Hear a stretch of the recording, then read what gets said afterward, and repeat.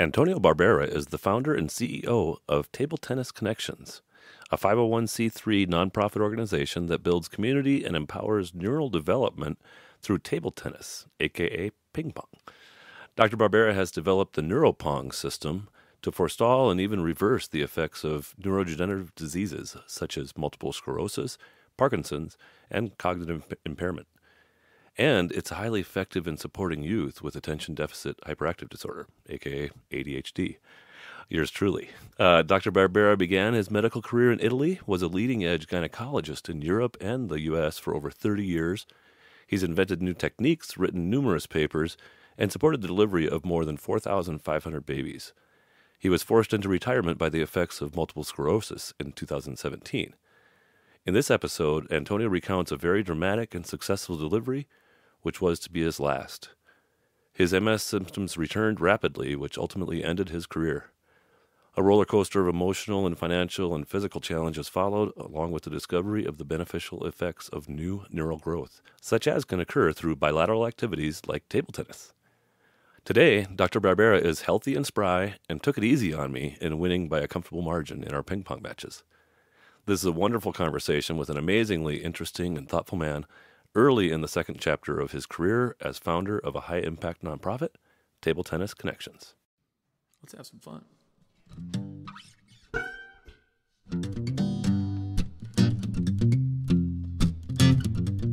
Welcome to the Loco Experience Podcast.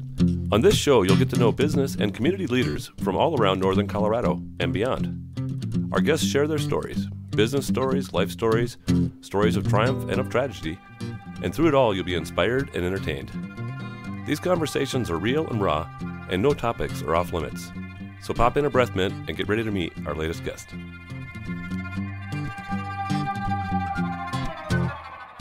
Welcome back to the Loco Experience Podcast. I'm honored today to be joined by Antonio Barbera. And Antonio is the founder of Table Tennis Connections here in Fort Collins, and that's a 501c3.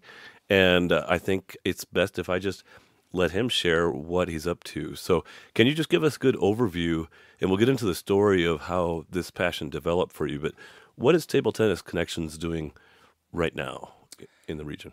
Well, thank you for having me today this afternoon, and thank you also for your invitation. So, Table Tennis Connections was born almost two years ago uh, from my deep desire of being able to provide some service to other people that surround me. Okay. The reason being that a few years ago I was diagnosed with multiple sclerosis, mm-hmm. and um, after two exacerbation, after two attacks, I was forced to leave my job.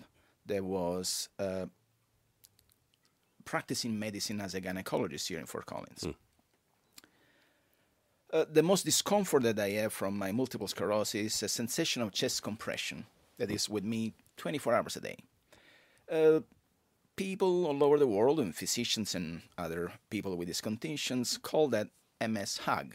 Mm. It's a sensation of a hug, of a tightening. Mm. But uh, people experience that few minutes a day, here and there, in your belly, in your chest. For me, is a 24 hours a day sensation and sometimes it becomes really uncomfortable. It's really like as a constriction. And this is with you now? With this with me now, really, on the left side of my chest, right here in front. So throughout the day, it goes from left to right, right to left, front to back, um, change constantly location, hmm. and I feel that. It's there with me. It Always just keeps trunk, me though. always on my upper portion, yes, yeah. on my chest. And uh, just before COVID, uh, I was playing a little bit of ping pong in my garage. I know that you are a fanatic about this. Sport. well, you beat me soundly in our first I game. I only beat you once. I'm looking forward to the rematch. Very good. And uh, I started feeling a weird sensation in my body, and I had no idea what it was. So I kept playing for three or four more days, and at that point, I realized that this sensation was leaving me alone. Well, the way I described this sensation, the hug was the hug was gone well, the way I describe it is like this elephant is constantly sitting on my chest. And when I was playing, I was feeling this interesting sensation that this elephant was leaving me alone mm. and was just sitting on a chair right there in the corner. Say, wow, that's interesting. Yeah. So I said, well, can this activity be useful for other people with the same condition? And I start searching and I start searching and I learned this fascinating uh, knowledge that was acquired in the medicine field several years ago that is called neurogenesis and neuroplasticity. Means what? If your brain is stimulated enough, is challenged enough, is able to produce new cells. That's the term neurogenesis. And if you continue to stimulate your brain, these uh, cells will differentiate in whatever your brain needs. So this is called neuroplasticity. Yeah, Creation yeah. of a new network of nerves, of impulse, of signals that will allow you to perform the specific activity that you're doing. Yeah. Yeah. It's kind of like if you run, your body kind of develops the muscles that you need to run. If you challenge your brain in that same kind of way, it'll develop new cells to, to cover what you have given it to do as a task. Correct. The interesting thing is that your brain needs daily new tasks. So every time that we fall back in uh, something that is the same, monotone, that is well known to our brain, well, our brain says, "Oh, I already know this. Yeah. I don't need to like produce driving anything new." Yes, you don't even think. something that is you, you don't even think. So, it's the constant stimulation, it's the constant Mm. challenge that will stimulate your brain. So, like Sudoku or whatever, puzzles or games or things. Yeah, you know, crosswords, generally speaking, they go back on your old memories, on your old R, R Mm. Yeah, wire, it's R words file. you've already yes. understood. Mm-hmm. You already understood. You memorize them somewhere. So your brain will work just on that portion of its function that is the memory, the Mm-hmm. old memory, but nothing is stimulating it more.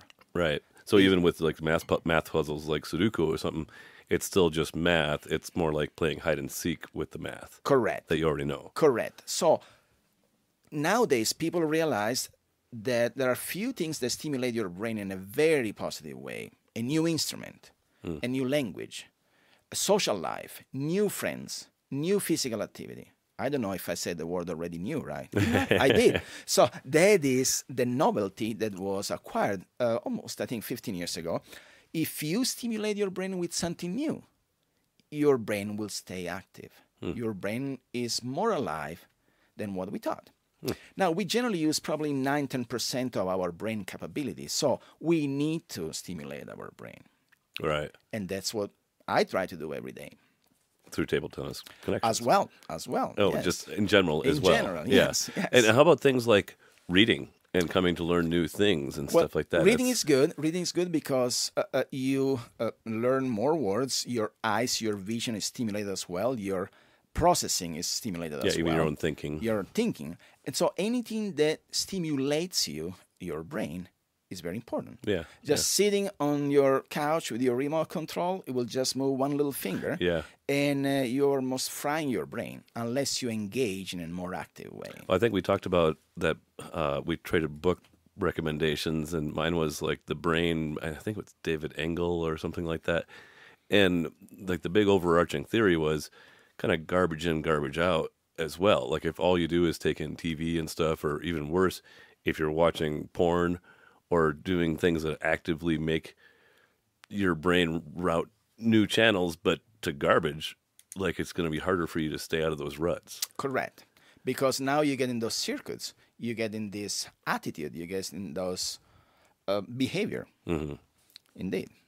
So, um, so who? I guess that you started. Did you start right off the bat as a as a nonprofit, or have you recently be, gotten your nonprofit certifications? I mean, uh, well, I became a nonprofit in July of 2021. okay, And uh, but if you don't mind, I would like to tell our listeners a little bit more about what multiple sclerosis is. okay, yeah, Um, well, we are surrounded by many cables here in our studio.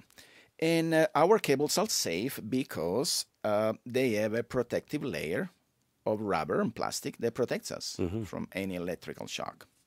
That is the way our nerves are built. Hmm. So our nerves are protected by this sheet that is made by the specific substance that is called myelin mm-hmm. that helps us to send the signal at the right speed Yeah. in the right place without zapping all the muscles around it and stuff. in a very specific way. So it's protecting us to be very specific, very efficient in the terms of conduction of our stimulus to our Yeah. muscle, for example. I think of it a lot like fiber optics almost. Like it's just like one the, little tube that goes it's from here there. indeed like the, the the major electrical panel in your garage.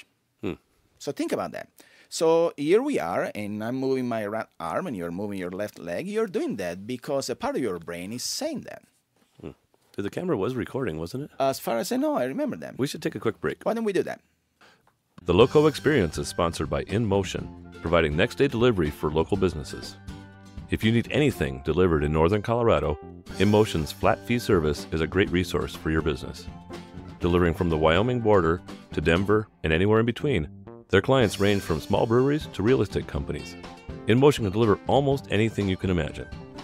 If this fits a need for your business, contact InMotion directly by emailing them at inmotionnoco at gmail.com. That's I N M O T I O N N O C O at gmail.com and mention you heard it on the Loco Experience. So, so these these tubes, Well, these electrical wires, they bring a signal to our anything that we do in our body. Yeah. The way we move, the way we think, the way we engage with each other, every single thing happens because there is an electrical signal that goes somewhere coming from somewhere else. And this electrical signal needs to move at a specific speed and being protected and selective. And this is happens thanks to this protection that each nerve has of this sheet made by this specific substance. It's called myelin. Now, in people like me, this myelin is destroyed. So there are portion it's like throughout. a protein that gets attacked somehow or well, something. it's a layer, is a fat layer that is attacked by ourselves. Hmm. So it's considered to happen because we place in act this distraction, physical distraction, biological distraction of this layer, and our white blood cells do that. Now we do not know why our blood cells do Mm-hmm. Yeah, yeah. that, but that's what So happens. it's an it's an autoimmune disease. It's an ultimately. autoimmune. It is the, the the mechanism is an autoimmune. Right. Now, who stimulates that? We have absolutely no idea. Fair. So uh, there are people like me that were able to recover uh, from the attack, and people that uh, are not able to. Yeah. And so, frankly, I don't know why I am so lucky compared to many other people. I was able to recover my right leg that was lost for two months. And uh, I was also able to recover my left arm that was gone for nine months. Nobody, of course, was able to tell me, okay, Antonio, you, you're going to be able to recover There's that. no PT or anything. There was nothing really. I was doing PT, I was doing hand therapy, uh, and as well uh, and treatment. But um, I was always looking at this limb of mine like something that didn't belong to me. I had no sensation, y- no motion control, nothing. So what was that like? Like it just hung there, kind of. It was like the cup sitting on our desk right now. Oh wow. Was not mine. It was moving whenever it wanted. I wasn't feeling anything. I was bumping everywhere. I was having cuts here and there. No cold, no hot sensation, nothing. Wow. So I was putting this when I was driving. I was putting this under my leg s- to avoid any weird movement, and uh, I had all my clothes with without any tie, without any belt, without any lace in my shoes. I was putting this hand in one on my pocket. Yeah. Otherwise, it would move anarchically, and it was offensive sometimes. Could you do things like button your shirt? No, no, no. I couldn't do anything. Really?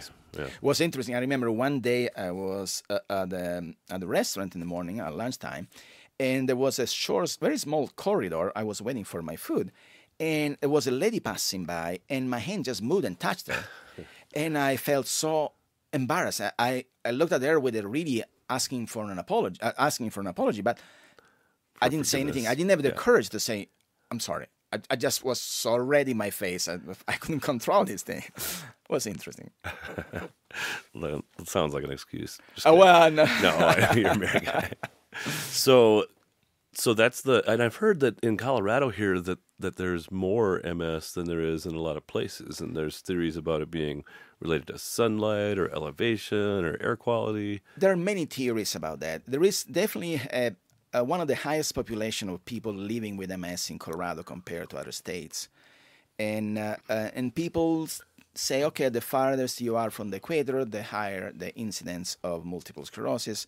Uh, but there is n- really nothing scientifically proven about that. Okay. But we do have one of the highest incidents. So, circle me, when is this that you were going through, you know, the loss of your leg function and arm? So it was five years ago. I was 55. The first attack was in 2016. Okay. I was just having people over my house and I started feeling something weird on my leg. Like if somebody was pouring boiling oil on my hip. Oh, my. Oh my. Yes. And so it was a night when I had some Italian friends over and we were playing uh, Italian uh, songs and singing. And at a certain point, I told my partner, Gail, I'm sorry, I need to stay away because I'm having pain. And she said, What are you talking about? Yes, I'm having this pain on my hip. And uh, a physical therapist friend of mine was uh, there with us. And she told me, Okay, Antonio, let me see what I can do. And but I said, Listen, nothing is happening. I mean, really, I can move. My mobility is there. Is this pouring boil that is coming, uh, uh, oil that is coming from my hip down to my leg? So I tried to take a hot shower, cold shower, nothing worked until finally, after almost two hours, this oil just went away from my, the tip of my toes. Wow. And I said, What's going on? Uh, I don't know. And so two days later, I woke up abruptly because the same oil was now on my right knee. It woke me up and I started screaming and crying from the pain. It happened again the following day. And at that point, I spoke with a neurosurgeon and they decided, okay, why don't we do some imaging of, of your lower back? Well, th- nothing was there. And since nothing was there, we put attention to the central brain, to whatever we call the central nervous system. And uh, my brain was like a Christmas tree. So if we do an imaging of your brain and my, or yours, uh, there's a gray and white color.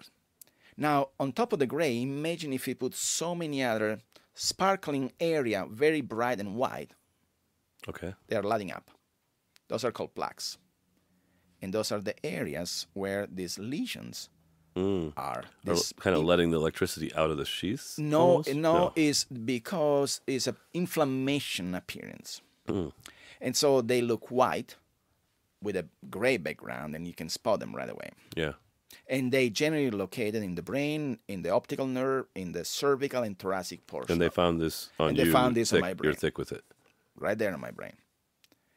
And uh, if after three days, uh, my right leg was completely gone, full paralysis, Mm. zero. I have no So control of wheelchair. this leg. Or Uh, crutches. You could Yes, crutches. wheelchair, and I was limping uh, for a week until finally I had no control anymore. Wow. Wow. And what does these did these lesions mean something to the doctors that were scanning you? Uh, well, such, or- the lesions, the size and the location of the lesions sometimes may have a correspondence with the clinical symptoms that you may have.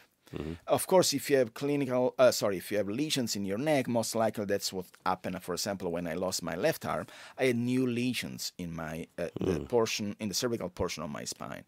Um, but again, you may have many lesions, but they may not be active.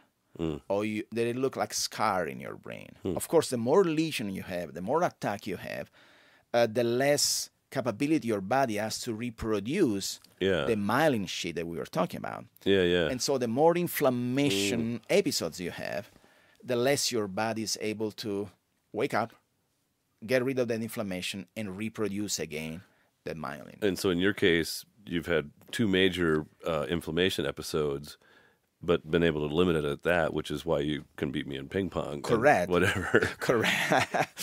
yes. So I was lucky enough. I mean, again, I was pushing myself in the attempt to recover. yeah. and uh, uh, and I was doing three times physical therapy, two times a week, uh, and therapy. Uh, of course, in the meantime, I lost my job. I couldn't do perform any surgery. I mean, I was confused as well. My multiple sclerosis, besides expressing itself with something that you may see, as a matter of fact, if you look at me, Santonio, you look normal, if you allow me this word. Yeah. Uh, but it's called the invisible condition. Yeah. So if I don't take a specific medication, I am unable to maintain my attention throughout the day. So I'm able to stay here with you at this time in the afternoon because I take a medication in the morning. And it took me a while to realize, oh my gosh, I'm passing out at 12 o'clock in the afternoon. I need to sleep. I need to rest. Things were overwhelming me.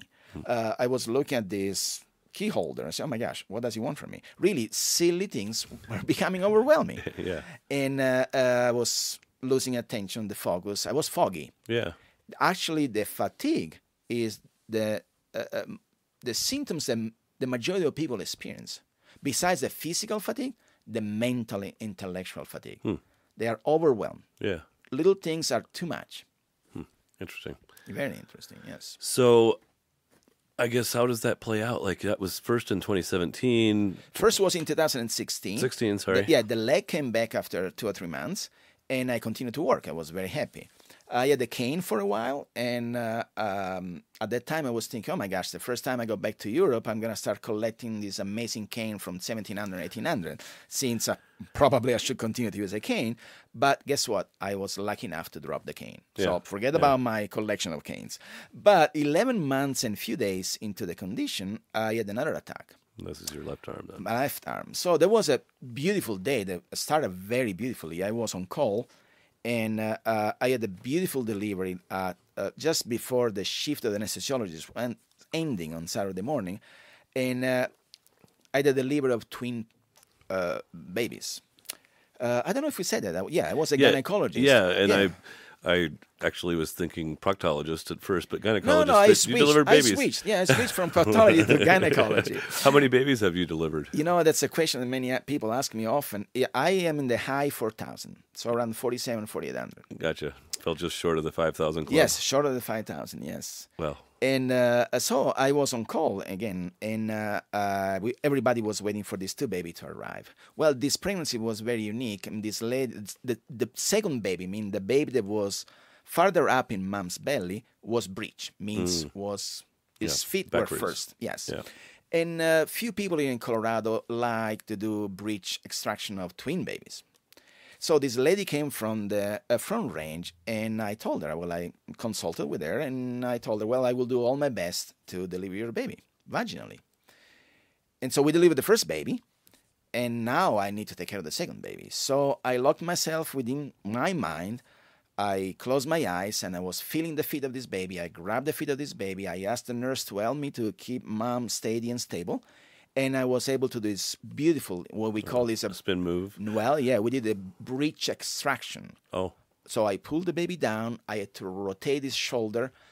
I just was looking inside the pelvis and just visualizing the maneuver I was supposed to do. And it was just beautiful. nailed it.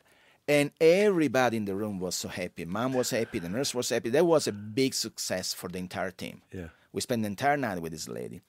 So you can imagine I was so happy. I went home. I was walking on a cloud. I was really feeling so happy. And uh, it was Saturday afternoon. And uh, Saturday at noon, the senior center was having ping pong. So at noon, I go to play ping pong.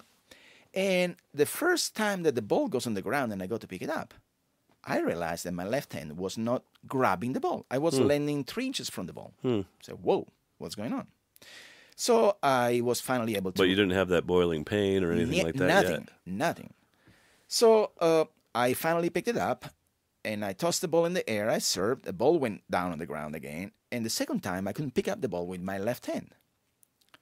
So I, I couldn't reach the ball. I was looking at the ball. My left hand was unable to reach the ball. The ball. You just couldn't Remember, we were talking about Yeah. the control of each of our movements through these electrical wires, through our nerves. So I pick up the ball with my right hand, I put it on my chest, I grab it now with my left hand, I toss the ball, and my left hand goes somewhere, the ball goes somewhere else, and it was 12.08. So I was eight minutes in my ping pong Saturday morning, and I said, okay, I'm going home. Yeah. Now, I was on call that day. All right. And so what I started seeing, my left hand was moving anarchically. My middle two fingers were just moving, flexing by themselves. Say, oh my gosh, what's going on? I, I didn't want to say to myself, okay, is this another attack? Uh, But I was fearing that. Did you did you suspect or believe Oh, MS yeah. already by then? Like that was the suspected diagnosis, or was this? no, no, I had. I had a clear diagnosis. Okay, by you then. did. Yeah, Okay. absolutely. And and I said, no, it cannot be possible. it. I can, dang, who knows? So uh, I went home and I was pretty sad. Uh, and at three o'clock in the afternoon, the ER called me.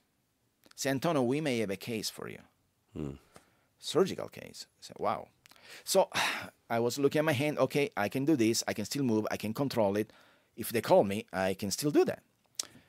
Uh, so I tried to f- reach my partner. She was skiing. And I told her, listen, I don't know what's going to happen with me because I don't know what's happening with my left hand. How far away are you? Oh, I'm four hours away. So, ooh, okay. So finally, at five, I remember those times very vividly. At five, the ER called me and said, Antonio, you're free. There's nothing that belongs to you. We are sending the lady home. I said, wow, Whew, thankfully. But 6.40 p.m., my hand was gone. My hand completely disappeared in front of me. Boom, Still no pain, just poof. done. And so, uh, in the meantime, uh, my partner came back in town, and I said, "Please take over my call." And that was the last of my s- day as a physician. I'm sorry. It was exactly oh, thank well, you. you. you went out on top. You had the the breech twist. My God, kind I, of I, I- you know, I. Yeah. kept telling myself in the first year, at least I finished with the, this beautiful, beautiful procedure Yeah. maneuver. It was just Yeah. beautiful experience, yeah. and that was it. And so, what a what a trauma. Um, ultimately, Yes, um, no notice, obviously, and somebody had to cover your next on call and your next regular shift and all that. of course, I had to change my life entirely. I mean, I had to change medication.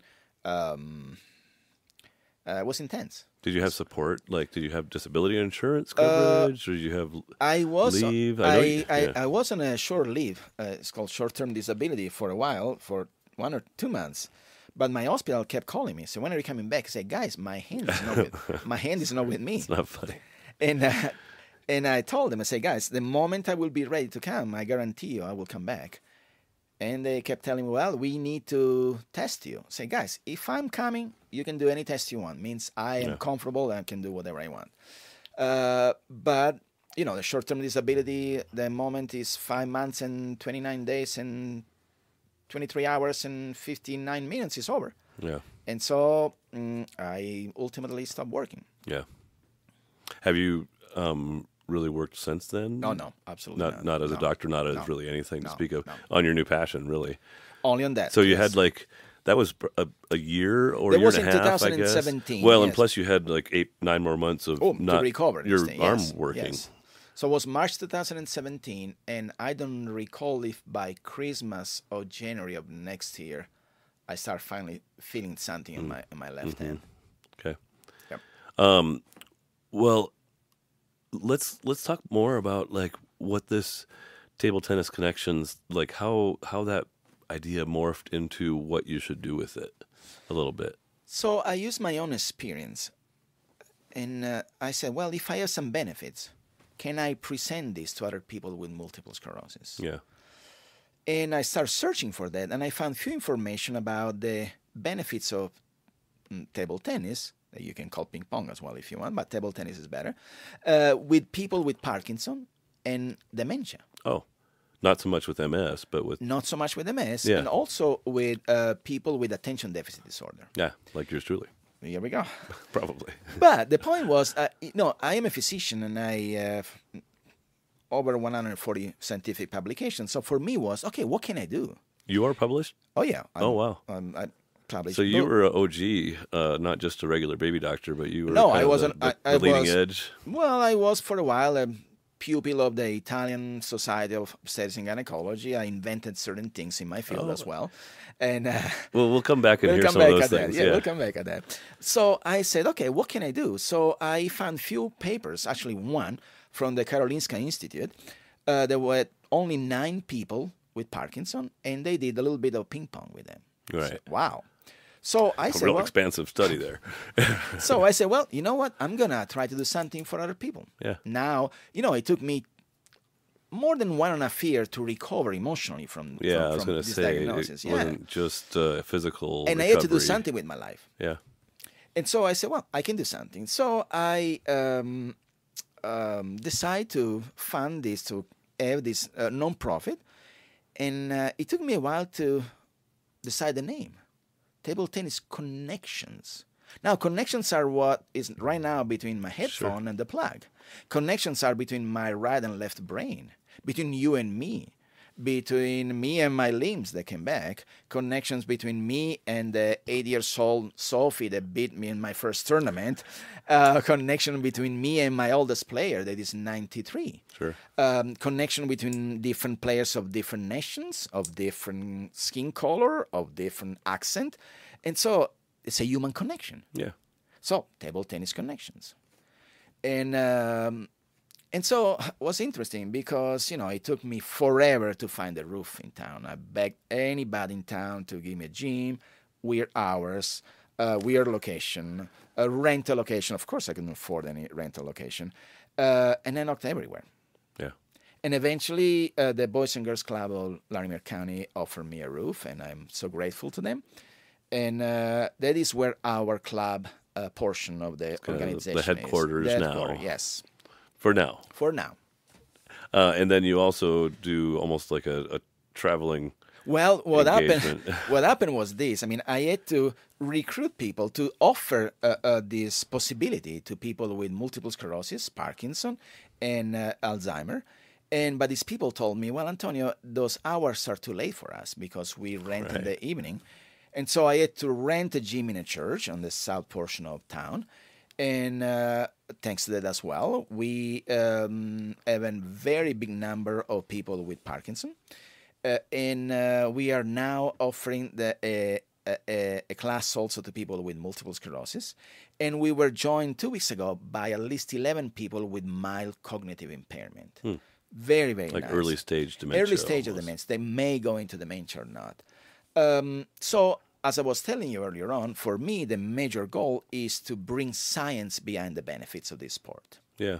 So and so what- what, have you what have you discovered in that on that front? Well, yeah. I created this specific ping pong program that is called Neuropong. okay. Um, and I offer the first initial 12 weeks, and I present uh, with specific exercise, with specific management of the ping pong ball, the paddles, a specific technique, a specific approach to the game that is based on your own brain. So if I have a person in front of me with multiple sclerosis, I need to assess and see what the condition is in that specific person. The Sure. same thing, what the Parkinson condition is affecting that specific And it's not just about levels. It's, It's also not just about the what condition. parts of the body or Correct. the It's- tremors, is they whatever. It's just about you Yeah. because each of us, even if we have the same condition, experience that in a completely different way. Totally. Yeah. So no two people are alike, and especially we have. You may have the same lesion in your brain, and they express themselves in a completely different way. yeah. And there are Mine just makes me dance funny. I see you dancing right I now. do dance I do. yeah. You do dance very funny.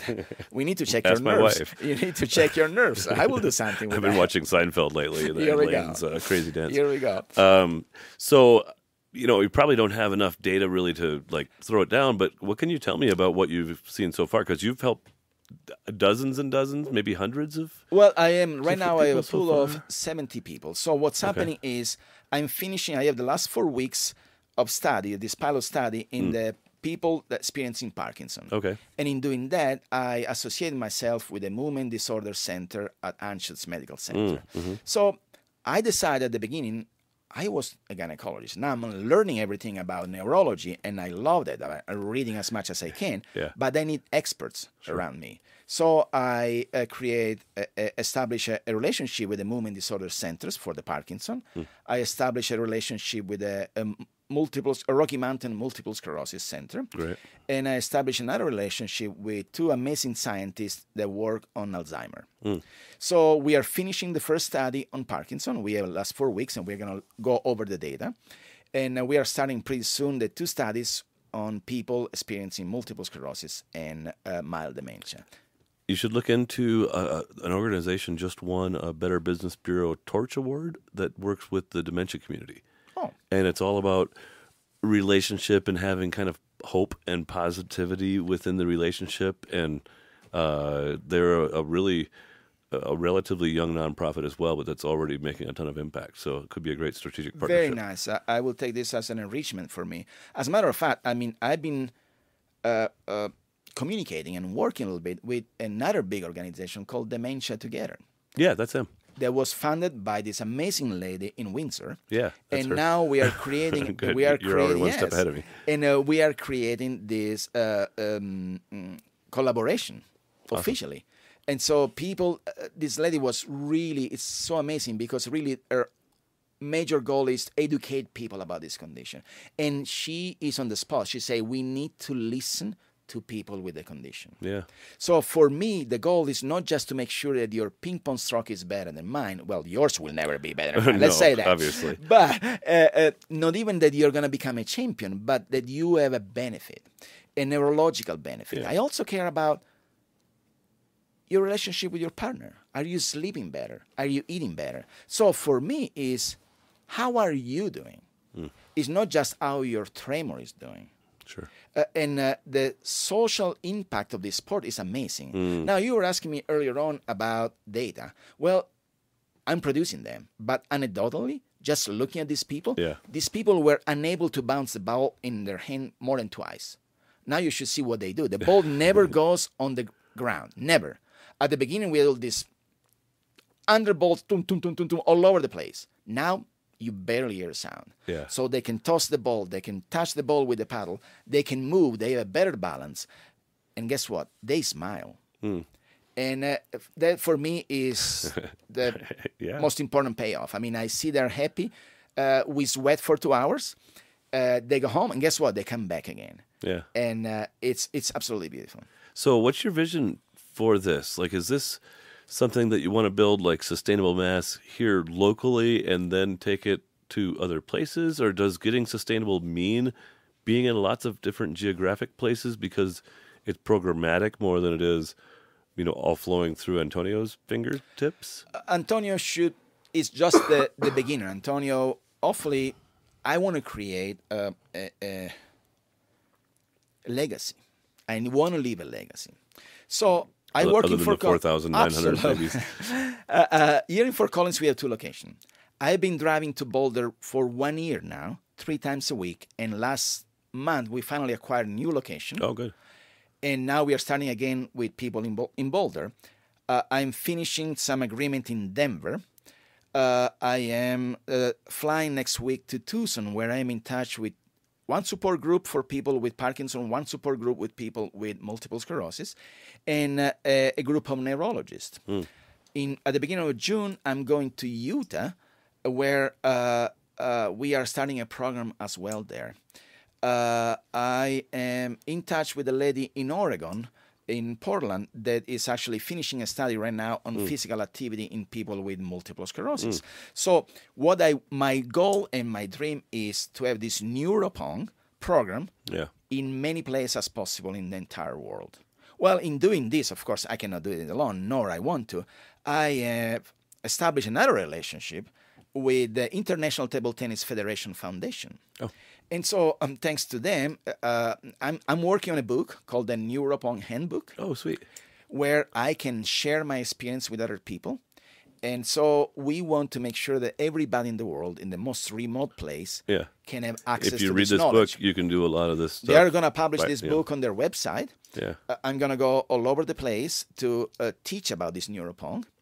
Uh, my next trip is going to be in Italy, uh, where I'm working with a, a, an institution that takes care of people with Parkinson and uh, multiple sclerosis close to Milan. And of course, I got in touch with a ping pong club there as well. They are getting certified in Neuropong. Uh, there is a group in Sicily, where I'm originally from, that is organizing another event in September, Wow. and they invite me for this Neuropong as well. So it's this Neuropong project. Yeah. That's the way I call. Well, and to make this a business podcast more than human interest, how do you how do you monetize it? Like, can you license the Neuropong to all these different folks that deliver it? Is there, you know, will you have to continue to develop trainings, things? How do you? Yeah, From my personal point of view, I what I will do is train them in this. Mm-hmm. So it's going to be a certification where you are certified in the Neuropong to Neuropong. deliver to Neuropong. the deliver Neuropong. Now, uh, that uh, puts together a, a theoretical knowledge about brain, theoretical knowledge about how we work, how our brain works, and uh, theoretical knowledge about a specific exercise in ping pong. yeah, Now, I don't care if you are an amazing ping pong player, if you have no idea how your brain is working, then, and if you are unable to communicate with a person. yeah, I don't care if you are this amazing scientist if you cannot put the ball on the other side of the net on a ping pong table. so I like to create this eclectic figure that has some knowledge on ping pong and that has enough knowledge about these conditions, and they need to continue to maintain their certification. Now, uh, where do we find the money for all this? Well, so far, uh, they just You're came creating out a lot of value, I am creating um, value. but you know, we need to monetize it. it. Yeah, yeah. Well, so far we have been able to survive, and let me use the word survive, uh, with some funds uh, given by some private friends, some friends, and some uh, um, private foundation. Um, the amount has never been enough, so we are always struggling uh, financially, and that is why, for example, uh, our class are guess what, five dollars for two hours of class, and uh, uh, that room on the upside on that. yes, and th- th- just I asked them, say, would you please help me to pay the rent? Yeah. So this, at certain points, should become a s- su- very sufficient business. It doesn't matter if indeed my goal is to have a social approach or a scientific approach, but nothing happens without money in life. Yeah, no, it's true, and Impossible. you know, I I, I use that uh, you know easy to add a lot of value. Sometimes hard to get it back out, but five dollars is is very little. You It's- know, it's not. Uh, it, you know how much a a, a care facility probably costs ten thousand dollars a month Absolutely. or something. And you know, people were telling me, Antonio, you're putting so much effort, physical and emotional, with only one person. Well, you know what? That person in this moment needs more attention. I'm sorry. Uh, I Yeah. don't go. I don't see the clock, but.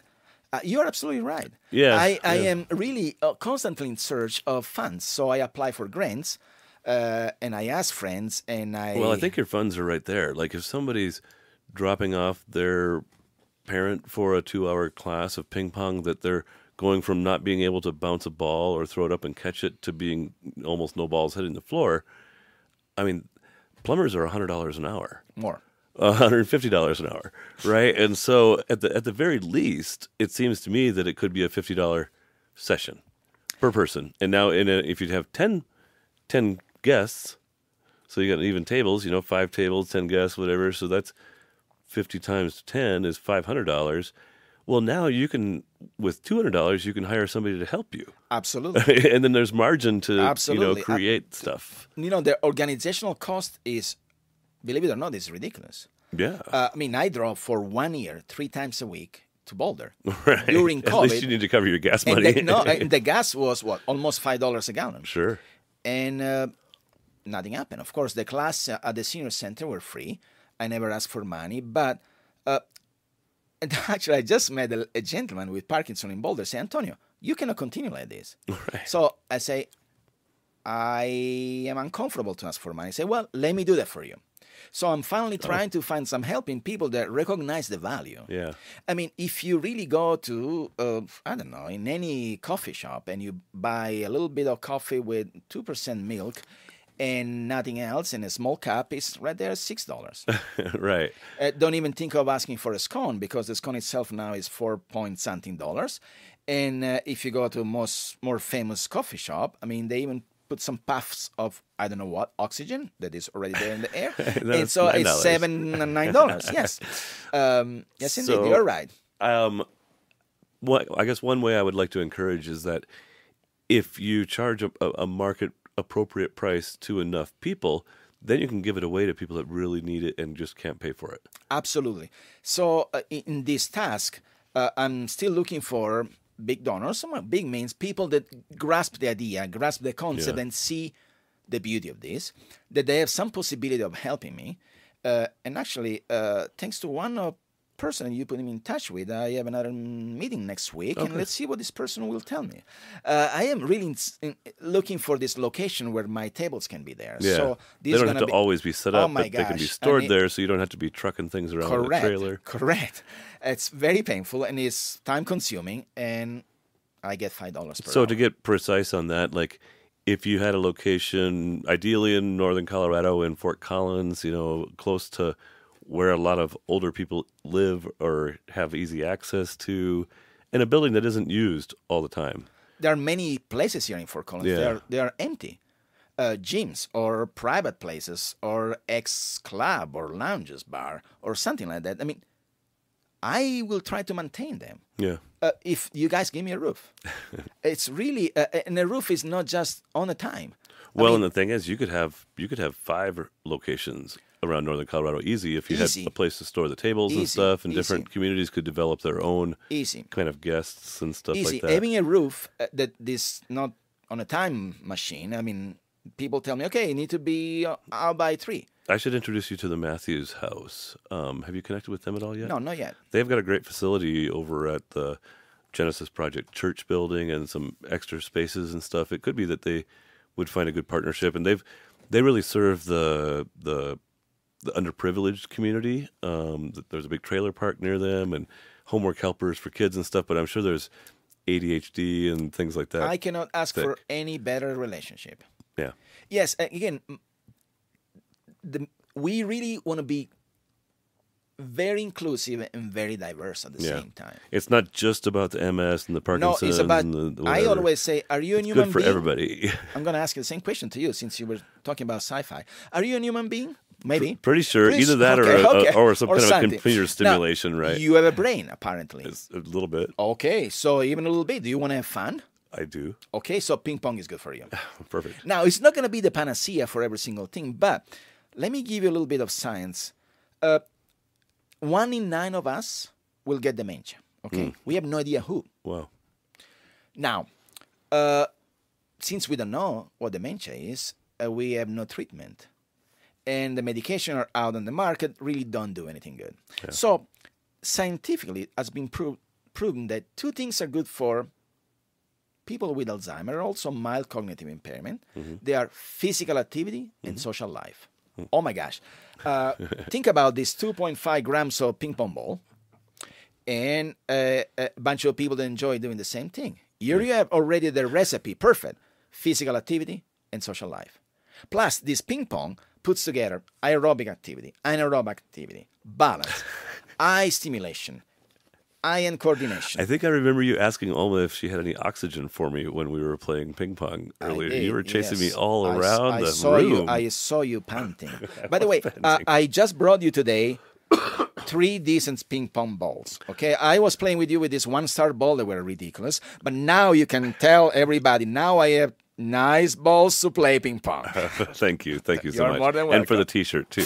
nice, thank you. um, so, so I guess that's where you're heading is to try to really develop this. Ultimately, uh, a set of contractors that'll want to like be and stay certified, and you can kind of release new things and exercises almost like a Peloton or Correct. something. I will start the educational Neuropong. process. I will start the educational process.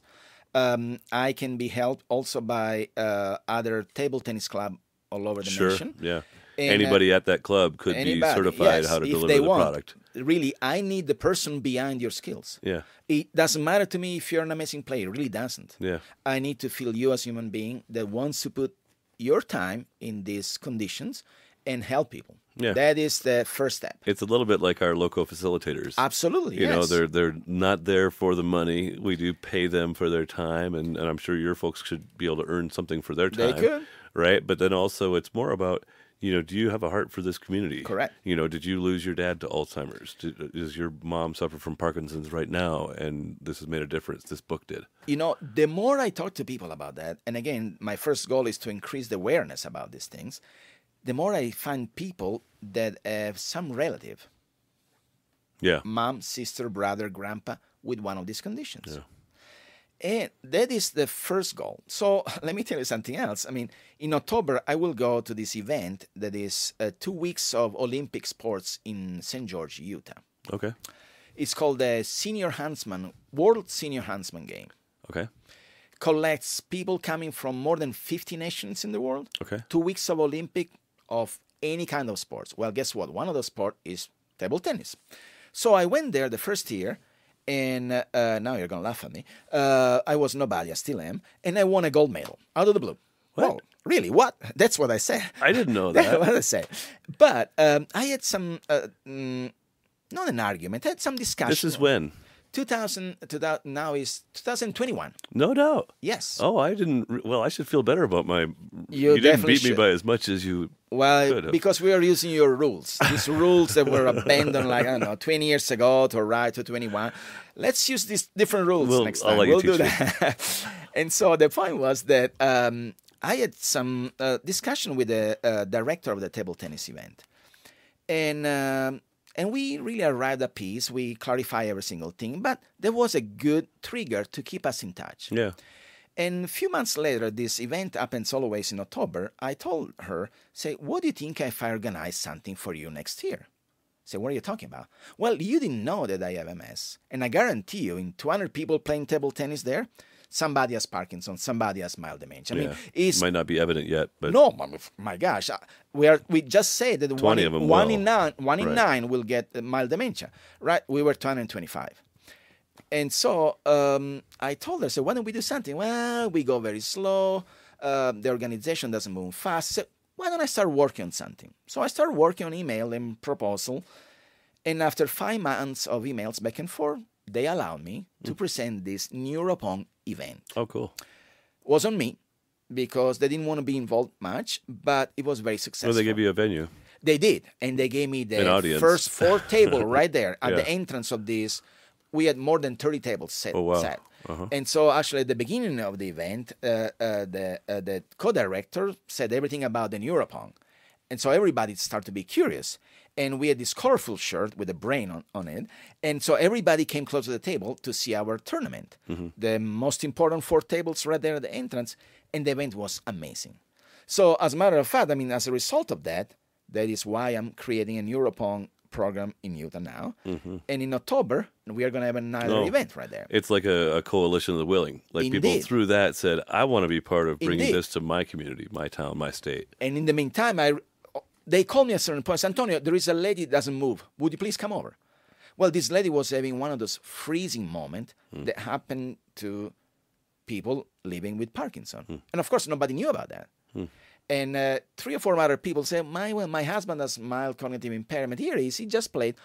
And so we stay in touch and we are creating a community. So my goal was, okay, guys, I want to shine a light on these people, not because they are different. We are not at the zoo with, with these weird animals. they are us and we are Yeah, them. yeah. So we are part of the society. Society needs to know because things happen to everybody. So let's put down any taboo, any stigma about these conditions and talk about this. Yeah, yeah, And that is indeed what, for example, Dementia Together is doing about dementia. yeah. Uh, we need to make people aware. I met her uh, when she was brand new. I think six months in, and had a chance to talk to some group I was at a chamber meeting or something. And I was like, "Wow, this lady's going to make a difference." You know, you.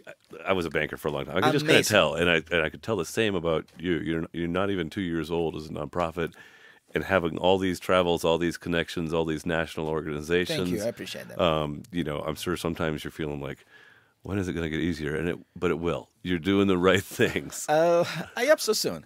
Uh, you know, um, at the beginning I was not discouraged, but but I wonder. So what am I doing? Nobody's giving me anything. yeah. Uh, should I persist in that? And I said, well, I will.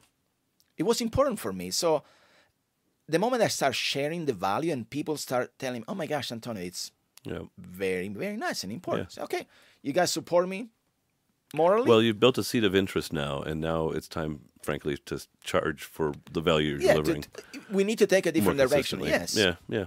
So um, I feel like you've got a thousand interesting stories uh, from your lifetime and your 150 papers published and whatever else. Um, is it time to like hear a little bit more about Antonio and where in Sicily and things like that? Well, yes, absolutely. So, I was born actually in Calabria. It's the last region of Italy before your ride to Sicily. Okay. But my parents were originally from Sicily. So, at the age of 10, we moved back to the motherland. I see. And so I grew up there. My And describe Sicily. Is it like a? It's, I know it's an island, but it's almost like it's almost semi-independent from Italy, right? Uh, Sicily, if you think of a paradise on earth, okay. that is Sicily. Huh. Means there was the center of the Mediterranean, there still is the center of the Mediterranean. And now we had invasions from anywhere. Right. So this north and southeast portion of Sicily was part of the Magna Graecia, so we were really Greek. Mm. And the west portion was completely associated with Africa. Oh wow. So you have different attitude, different skin color, different spices, different food. Geography of this island is amazing. You go from volcano to mountains to ocean to lakes. Any kind of wine, red wine, uh, uh, white wine, Just all these different geographic different regions. geographic region. So uh, it's this triangular shape that is um, right the center. Uh, we call the culla del Mediterraneo. Culla is the crib because we were pampering. Yeah, everybody. Like the breadbasket almost. yes, of the- everybody. so the then heartland. the Finnish were coming, the Vikings were coming, and they were find Right. this welcoming little crib. Uh, The Africans were coming, they were finding this welcome little crib. The Greeks were coming. We have so many Roman and Greek theaters on that portion of the island, on the east portion where I'm from. On the west portion, besides some uh, uh, Greek theaters, we have a kasbah in many in many cities, and s- they've been there for five, six hundred years. And so is this, you know, a association of people of different uh, nationalities putting all together. So it's really it's it's Italy's had effective control over it for quite a while, but ultimately it's a it's a melting pot like no other almost. Correct. It's a melting pot because it was this beautiful island. Yeah. Now think about Italy was unified in the middle of 1800, and so up until then, Oh. up until then, we had a king on the north portion of Italy, and up until then, from Naples down, they belonged to the Spaniard, to the Aragonese, Oh, is that right? The Argonaut. until oh. the, Italy was united. So even though there was the the Roman Empire, if you will, uh, in the Catholic kind of, but as far as uh, states, it wasn't that was way. the kingdom of the two Sicilies, Ah, Spain and Naples down south, and grabbing Sicily as well. interesting. So Yes. how how many people uh, live on Sicily? Oh, the island is big. I mean, the biggest city is Palermo, and us probably four million people, three million Okay, people. so maybe thirty million or fifty million Yeah, people 30 million. I altogether. think, yeah, it's bigger than it's big as Colorado. I think Yeah. Sicily. Yeah, Yes, cool. beautiful island, beautiful island. Fascinating. So, what was your family into? You, uh, you were in the east, you said. I was in the tip east of Sicily, northeast corner of Sicily, and we had this ferry to take to go on motherland, on Italy. Is two kilometers, three kilometers. Sorry. Mm. Oh. Uh, so you put your car and the train on the ferry, and you cross this Oh, very narrow strait. Yes, really. very narrow strait. And so um, uh, I grew up there, and so I was involved. I was interested in folk music, in researching the old traditional sing, Hmm. songs in Sicily. Mm-hmm. So I had this group of research of music in Sicily. Interesting. And so This I is like as a as a late as a hobby. teen. Yes, early I was 20s, 14. Okay. 14. So I played the piano growing up. I learned guitar. And with this group, I started playing percussion. It's a specific instrument called tamburello. It's a tambourine. Mm-hmm. It's a frame drum. And uh, there is a Sicilian technique, Mm. the Calabria technique, the Napolitan technique, the Puglia technique. And I don't know why I was able to pick up all those techniques anyway. So, uh, uh, in my m- life as a musician, also, I was lucky enough that at a certain point, I was 19, I got in touch with the most famous group of early music in the world. Interesting. Interesting. So I went to a selling class and I fall in love with this lady from Rome, whose brother uh, was a bass player in the European orchestra with the famous director von Karajan. Okay. And after that, he switched to viola and he went to study in uh, Switzerland uh, with this famous uh, director of early music. Uh, one day she called me and said, Antonio, I remember you play percussion. They need a percussionist. That's familiar with early music. So, okay. I was not. oh, So, uh, can you come to Rome in a week and they want to test you? So, okay. So, this gentleman from Spain um, called me and say, I will be in front of the Pantheon. I will be reading El País, this magazine from Spain, and I will see you there at 9 o'clock in the morning. okay. Okay, so I took an overnight train. Uh, I spot this gentleman in the middle of the square. We had breakfast together. And uh, he- of course, he was speaking five languages, so we were talking in Italian then. And uh, he asked me, Well, where can we see the way you play? Now, I don't know if you have been to Rome, this Pantheon. It's this beautiful place, and there are many columns. Yeah. And I told him, Why don't we go in between those columns? And he said, Why not? Yeah. So he asked me, "Can you take this rhythm?" Sure. Can you take this rhythm? Sure. Can of course. Remember, I was my first year of medical school. So I was 17 or 18. And he asked me, How much is your honorarium per concert? And I told him, Well, What's you- that? This, well, say, whatever you pay the other musician, I will get the same honorarium. Good idea. Wow. Um, guess what? A month later, he called me and I started playing with him. And I played with him for more than 10 years. Oh wow.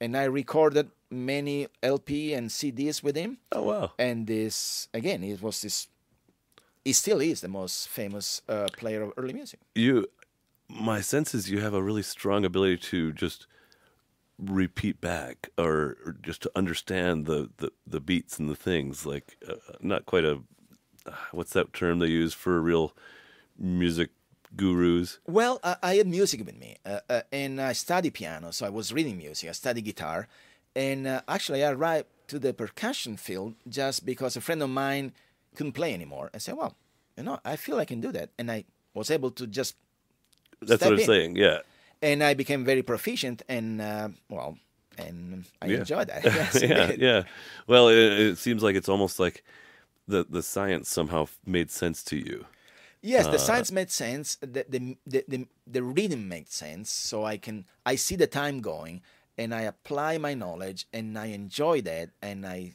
it's time. is it It's- visual for you music a little bit like flipping that baby on the delivery It is very visual and it's very emotional. yeah Um, again, in the darkness of my mind, I s- was seeing that baby.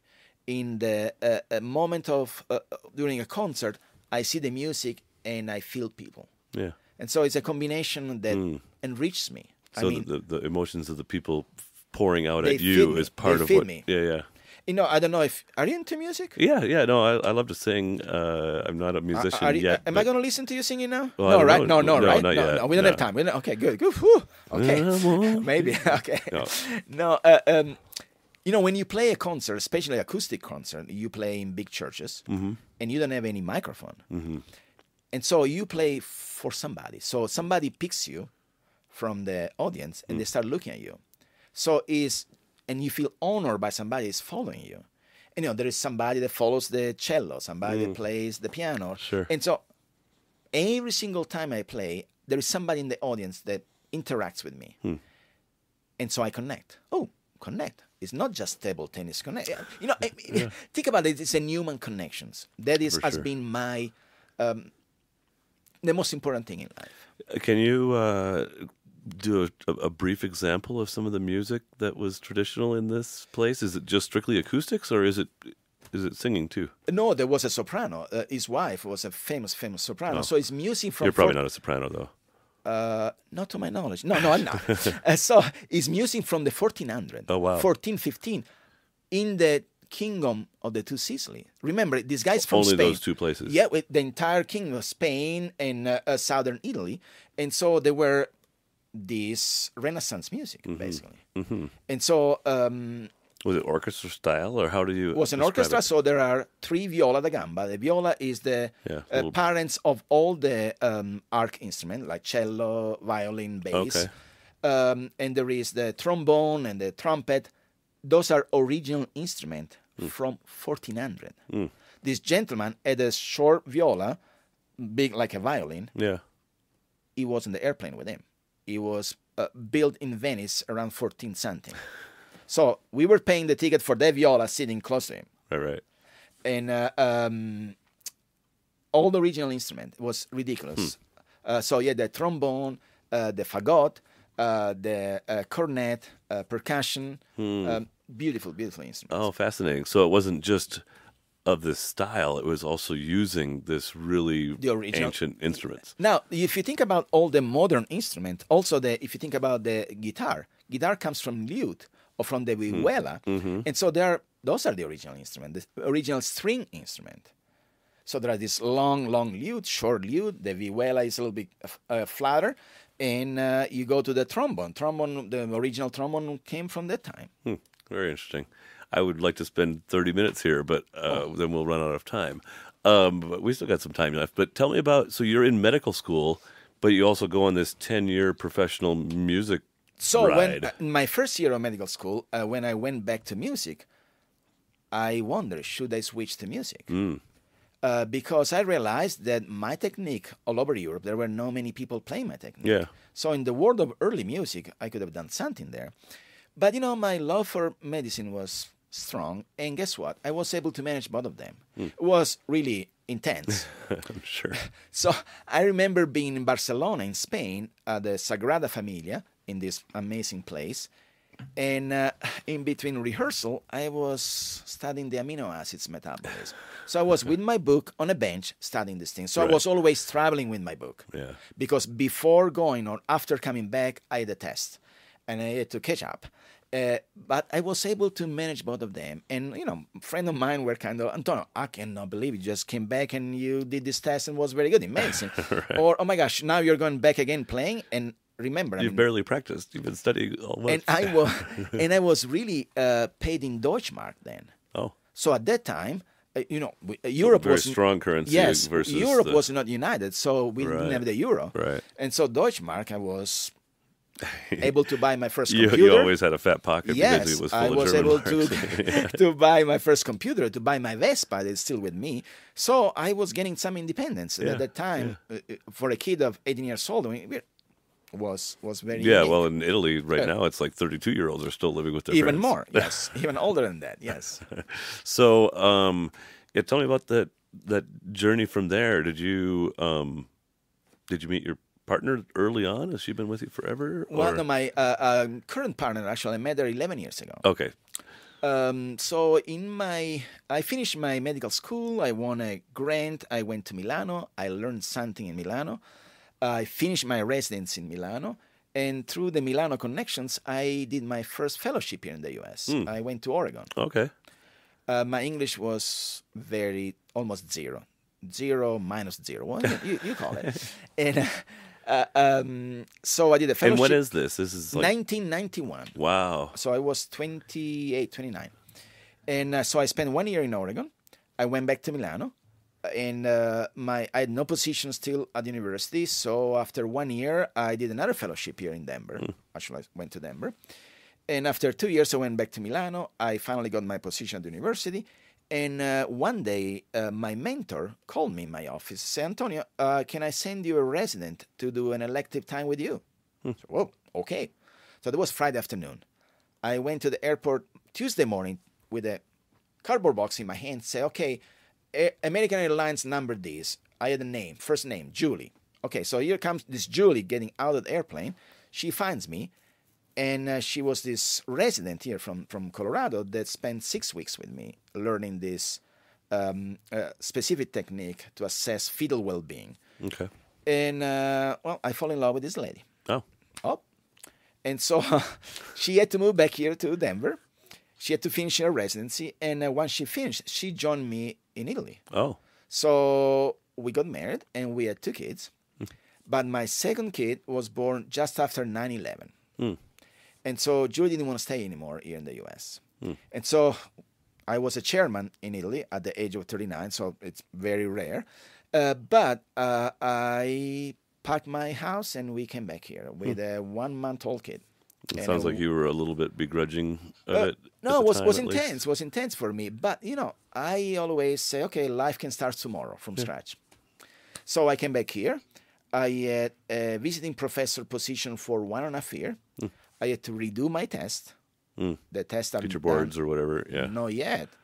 I started to qualify as a medical student, Oh. and after one and a half year, I restarted my residency. Oh my. So the So, people so you went kind of from like from Uh-huh. eight down to a two or something. in your zero again. path. Here we go. Yeah. Zero again. So the people that were my student when I was a visiting professor until June 16, here comes June 18, and they are my boss. so I redid my residency, and uh, uh, was more than 80 hours per week.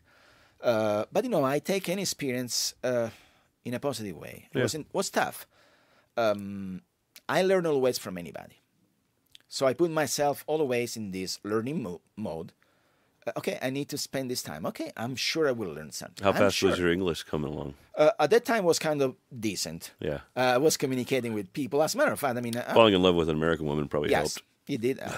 a lot of phone calls and It whatnot. did help, yes. But after uh, one year after my residency, our relationship started falling apart, so we got divorced. Hmm.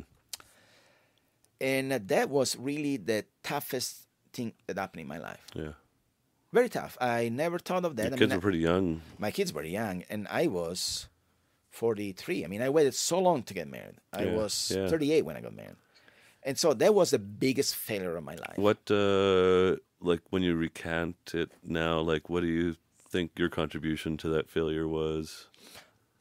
Excuse me. I'm sure it was at least 50%. I mean, there is nothing nothing we can say. Was it because you were older and kind of stuck in your no, ways, no, or we were different probably things like that? too, s- too much stubborn for each other. Yeah, And so um, two hard heads uh, too hard- yeah, have a tough time and together. we, we were unable to communicate, and this was affecting the quality of life for everybody. Yeah. So was that my ideal situation? No, but I had to take it. So it goes. and yeah. uh, and that's it.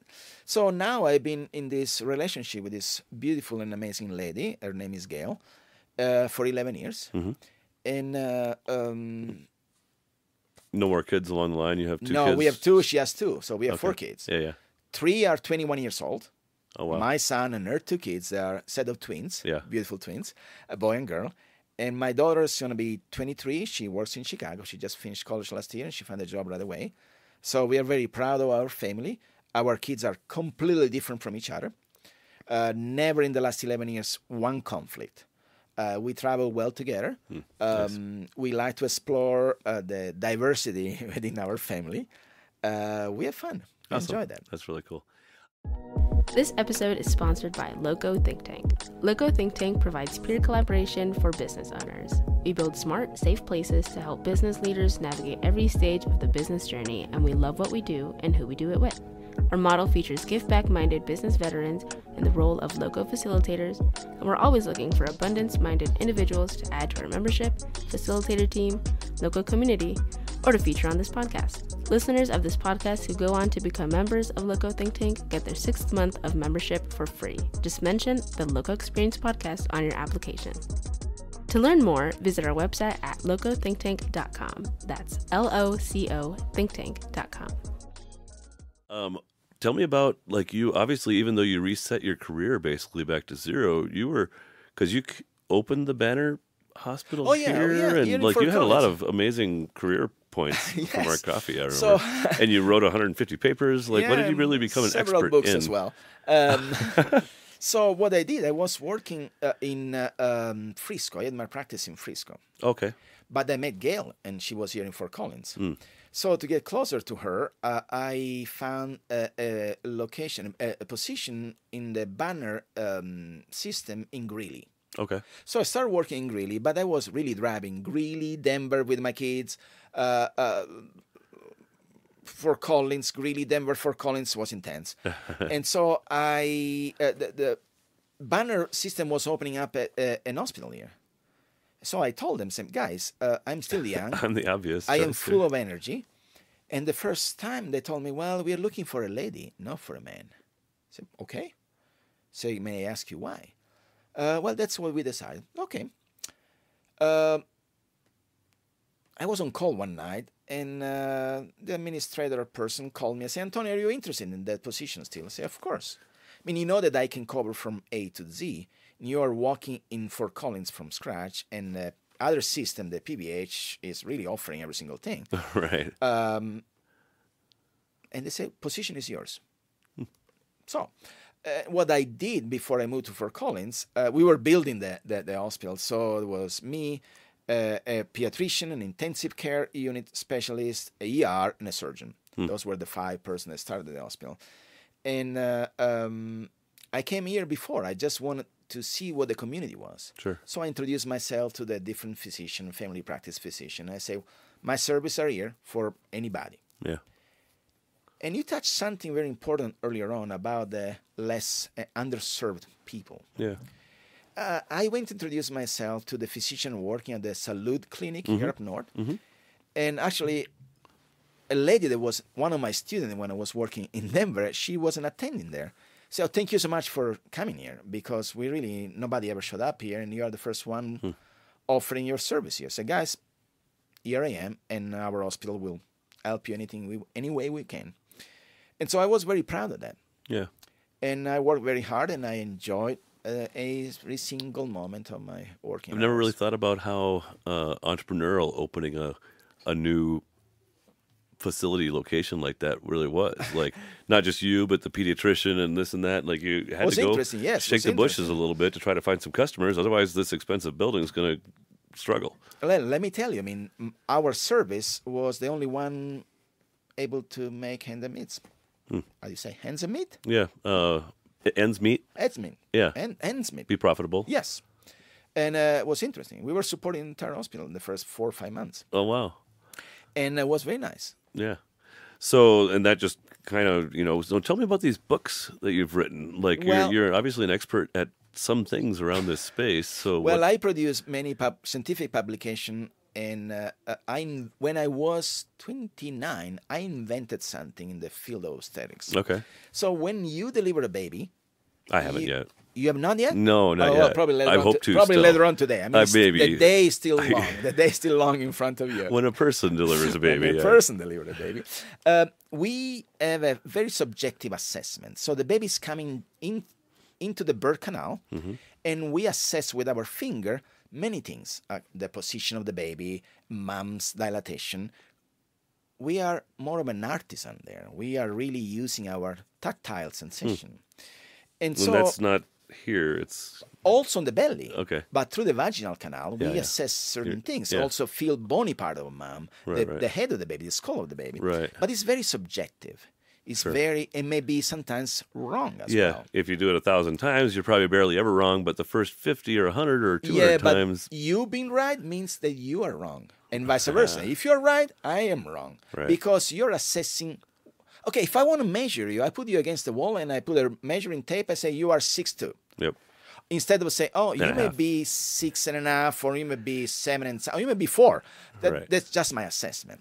So, uh, um, I discovered that if I was placing an ultrasound probe on mom's pubic bone, I could see how the baby was coming down. Mm. So when mom pushed the baby in the last phase of uh, labor, the baby doesn't come down into the birth canal in a straight way. It's like a screw. It's rotating, and is using the mom's pubic bone as a fulcrum, and comes out as a Coming around the corner. extending. The Yeah. baby's extending.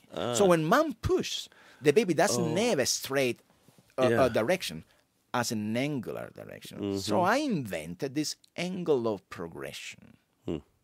I was measuring an angle. Okay, we are. I am 29 or 30, and uh, I present this data at the first World Congress on Labor and Deliver. Okay. I had to fight with my uh, uh, chairman in Milano, was a big person, big personality as well, because he wanted to present this data. I said, listen, those are my data. I am a little kid, I know, but let me do that, right? You know, in Italy, there is always this Yeah. The, hierarchy. So I present these nine minutes uh, uh, data, and the audience was silent. I was like, oh my gosh, oh my gosh, did I say that? At a certain point, a gentleman stands up and starts clapping by himself. Once he's done clapping, everybody starts clapping, and he keeps talking. I say, guys, you, all of you are so old.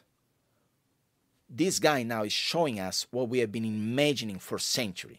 Is hmm. showing exactly what's happening. I wish I would have known you when I invented my device. Now, who was this guy? Was a famous guy from Australia that invented a suction device that helped us hmm. deliver a baby. Mm-hmm.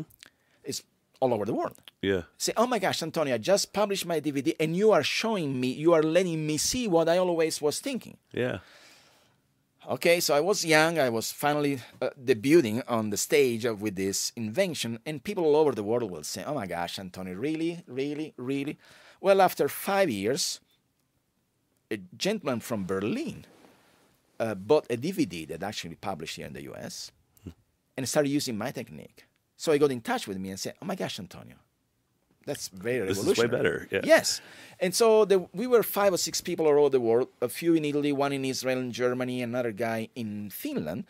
They started using this technique, and after ten years or more, we finally met in the same place in Italy, And I created this society, scientific society called ISLANDS, International Society of Labor and Delivery Ultrasound. So we are all the expert in the world using this technique. And is that so- why people were coming to Italy to residency with you and No, stuff? they, you- they were learning something else at Okay. that time. At that time, they were learning something else.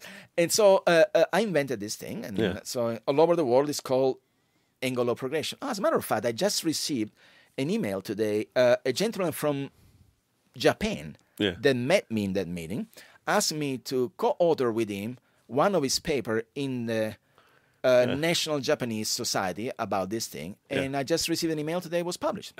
cool. So, Did you get uh, paid anything for that? no, of course not. Did you get any royalties from this whole thing? None of that. The problem was that that I didn't. Um, how, how do you say? I didn't. I patent didn't. or I didn't patent that yeah, because there was an intellectual property, sure. and I didn't. I'm a little know, surprised that your medical system didn't patent it. well, remember, I was a little kid then, Right, right. And so, and until one day, somebody, some ultrasound company, actually was showing me such specific images that they took over the internet. Say, man, where do you take those images? right. Oh, from the internet. Say, you know who this hand is? Is mine. Those were my fingers in this video that I produced. Those are my fingers. Oh, that's my blue shirt. How did you get those? And so at that point, you know, I say, okay, Yeah, that's water under the bridge, whatever. I suppose. Yes. Yeah. So cool. Um, so t- I guess uh, I- I'm feeling like we could tell stories in medicine all day. Other other highlights from your medical career or publishing? Oh my gosh, yeah. Journey. when I moved from Sicily to Milano and uh, I switched my residency there because uh, this professor wanted me there with him, uh, we were trying to keep the small babies in mom's uterus until they were able to Keep them from being too premature. from being too premature. Correct. But they were not growing well. So the dilemma was, what are we doing with these mm. babies? Mm-hmm. If they keep them inside mom's belly, they may die. If they we get them out too soon, the neonatologists at that time were unable to take care of these kids. yeah. So for us, prematurity was 32 weeks. Now we deliver a baby at 24 weeks. Right. But then the neonatologist said, we don't know what to do. The Right. mortality was so high. So we were trying to feed the babies Yeah, like supplemental feeding almost. supplemental feeding. So we were cannulating the umbilical cord through mom's belly and feeding this baby with amino acids. wow.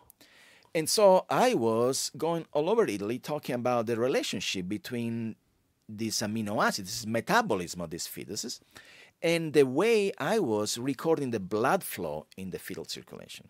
Again, I was a little kid going all over Italy. and my mentor was uh, uh, um, an amazing guy at the University of Milan. He taught me many things. And so we were producing a bunch of publications on Yeah. that. And so we were going all over the world talking about this. That's pretty cool. What a, what a journey. Very cool. Well, and, and I think you know it could well be your most impactful days are still ahead of you. With I hope so. Otherwise, what they mean? Yes, absolutely. you I hope so. awful hard on Yes, I hope so. so. So um, we always, as you know, talk about faith, family, and politics Okay. in this program, and um, I don't know if you, as much or as little, do you uh, have things you'd like to say? We talk Ask about your me, ask family. me anything you want. Let's talk about your answer you. family a little bit more. You've got uh, your two kids, and it sounds like you're very close to your your stepkids as well. Yes. Uh, I always ask for a one word description of each child. Okay. Are you up for that challenge? Marina is very shy, very sensitive, uh, beautiful. I deliver. I deliver my two kids myself. Oh, I wouldn't have passed that for any reason in the world. that's cool. Uh, so uh, Marina is the joy of my life. Um, she's shy. She's like me. She's even if I talk. I mean, I'm very introverted and shy. Believe it, believe it or not. Yeah. I can still beat you at ping pong, but Yeah, I'm well, still we'll shy. see I'm still shy. Um, William is very athletic. Hmm. I mean, you give him anything in sports and he will excel Hmm. out of the blue. Pick it right up. Um, he was in elementary school, I think third grade, and this lady went to propose fencing to the school. So William started fencing, and she asked me, "Where have you been fencing? Which club do you go?" Who taught Say, him? Ma'am, that's the first time I touched this thing. so that's William. Uh, Max is um, very artsy. Um, Gail is um, from the Chickasaw Nation. So Max, you look at him, and is as very a feature very peculiar of indigenous population Yeah, yeah. and as this long hair, dark and skinny and very fancy and very stylish. Yeah, yeah. And he's studying industrial design. Oh, cool. And uh, Sophie is in Boulder, and uh, uh, she is amazing. She was very introverted when I met her. Actually, when I met her, she was writing a lot. I said, "My gosh, this girl writes so well." And uh, her mom and I were thinking, "Oh man, she may get into writing." Now she's doing environmental studies.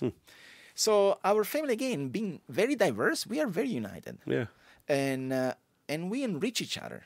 Uh, last Christmas, uh, we decided, okay, instead of just buying silly presents, why don't we buy a book? Think of the other person that is receiving the book. So each of us book a little, uh, bought a little book. It doesn't matter if it was used, secondhand. Doesn't matter. It was supposed to be given to you, and so I need to buy the book thinking of you. It Yeah. was a very nice experience. I like that. Um, Yeah. we are very symbolic in our. I like that line you just used, that diverse and united. I Absolutely. mean, that describes not just a great family, but a great state, a great country, you know, a, a great island, whatever. anything. We are enriching each A other. staff. Yes, constantly. A team. Yes. Uh, whatever. Whatever. I like it. Yeah. So, um, and let's talk a little bit about your your partner Gail. Uh, what uh, what was it that connected you guys at first? Those We eleven met years ago. through a common friend and um very artsy person. Uh, I think Gail is the most beautiful soul I ever ever met. Hmm. She's very pure, um, very authentic, uh, very real. Um, when I met her, she was starting her business. Now she's in, she has a, her own business here in town, and she's very proud of that. Um, she has a workroom uh, of interior design, oh, so she works. Uh, uh, going to give it a plug or anything like that? Is she- yes, uh, her, uh, her uh, a business is called Sparrow House of Design. Oh, I know who that is. She has a work. Actually, I think you know her. Yeah, I do. You, uh, uh, uh, you do know her. She told me about you. Uh, oh, I said Years I met, ago, I met- probably. years ago, yes. so she has a workroom and a showroom. Yeah. Uh, women's business. Uh, very proud of that. Very, very um, specific. Very uh, precise. She just wants to do the job in the best way she Yeah, an amazing designer too. Like some of the, her creations are. And, like, and her mind is really, really so so beautiful. Yeah, she's a charmer. I feel enriched by the pre- her presence in my life. Awesome. That's great to hear. Um, do you want to talk about faith or politics next? Well, I grew up in a Catholic country, so Yeah. I was Everybody's raised, Roman Catholic there. I was much? raised Catholic. Um, since I moved here in the U.S., uh, I would say I'm not practicing Catholicism, Okay. but I still feel I am a spiritual person. I always care about the soul beyond your face. Yeah. You, you still think Jesus is a good guy? I think that if you read the gospel, whatever this Jesus did was he was the first revolutionary person. Yeah, kind of. I mean, I cannot find anything that he says, whoever says that, and if Jesus did, uh, that is wrong. I mean, it's so pure, but it's Yeah. very pure. It's very black and white. And it's free. It's free of any kind of notions like when he's questioned by people that are trying to trap him and stuff like that. He Pure. cannot be trapped. Pure Yeah. in his simplicity because Mm. the message is very simple. Mm-hmm. The message is one love the other people like you love yourself. Yeah. Well, And now, love God you- more and you than, can be more than you. Christian and you can be Jewish. You can be anything you want. sure. Yeah. But you are my Jesus. You are my God. Means I we are in this hurt passage Hmm. and I'm giving something to you. So if indeed you are you are built to resemble God. yeah. In the image of. You are in the image of. Yeah. That's you are my God. I think that's one of the things that's so fascinating in this kind of equal rights and equality and equity and, and conversation. And the Christians are kind of pushed over on the right, but like that notion that we are all created equal, it's because God created us that way. It's not necessarily, you know, and that's, I don't know, to me, that's kind of a dichotomy that those that have most rejected God are kind of trumpeting this equality, but, but really what makes us equal is kind of that notion that we're created that way. Indeed. But we as human beings maneuver and uh, use use and abuse Mm. Anything every single thing to our to Fair. our favor. So the Roman Church was an amazing power Oh, over the centuries. Yeah. So any religion has the power of influencing people. Now I don't want to cite Marx, but the point is that there is a political influence. Oh, for sure. there is a human influence. So if I am a human being behind, uh, uh, if I be, will become pope in the next week, I probably uh, who knows. Unlikely, Who but knows? you know, unlikely? more likely than I'm going to deliver a baby. Okay, more like okay, but the point is, it's me, right? So I bring my knowledge, I bring my my background, and Sure. and I need to push your business because you are my friend. So that is the right. power of the that is the, corruptibility. the corruptibility. Yeah. But if we go back to the purity of the message, Yeah, fair. the simple is I need to love you. I don't want to love you like I love myself. Yeah. So that is my spirituality as much as I can. Now, we are a fault all day long, right? We are. Sure. We are, and People we like to ask, you know, when somebody says, "How how are you doing?" Uh, I always say, "Better than I deserve." You know, we make mistake. Yeah, yes, we make mistakes, and we, our arrogance, our individualism, Hmm. our um egoism. Um, s- So if we have time to think about, okay, how poorly did I behave today? Come on, let me be Yeah, better tomorrow. yeah, yeah. Or even I cannot wait until tomorrow. Let me be better now. If I'm able to realize how miserable I behaved earlier on, I need to change.